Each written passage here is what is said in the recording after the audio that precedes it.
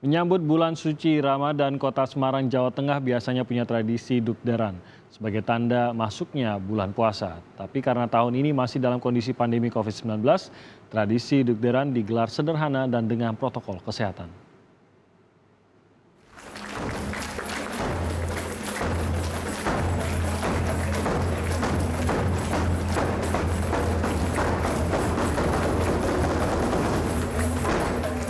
Tabuhan beduk di Balai Kota menjadi tanda dibukanya rangkaian acara tradisi Dukderan yang digelar pemerintah Kota Semarang. Berbeda dari tahun-tahun sebelumnya, tak ada pawai dalam tradisi Dukderan tahun ini. Tahun ini, tradisi Dukderan masih digelar sederhana karena dalam situasi pandemi COVID-19.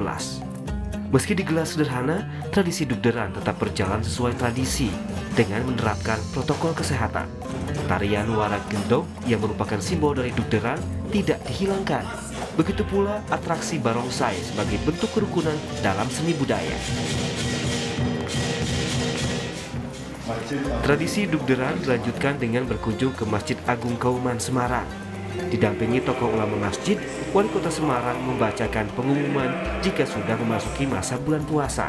Sebagai puncak rangkaian tradisi Dukderan, Wali Kota Semarang akan kembali menabuh beduk di Masjid Agung Kauman. Menyampaikan memang dari hasil sidang beliau-beliau ini sebentar lagi memang akan ada Ramadan tepatnya hari Selasa.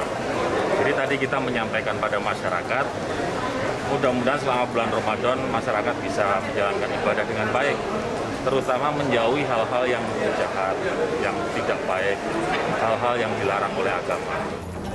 Dugderan adalah tradisi tahunan di kota Semarang yang telah ada sejak tahun 1881.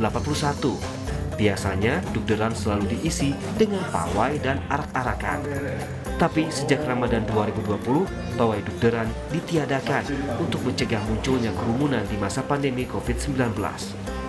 Senot Puji, Kompas TV, Semarang, Jawa Tengah.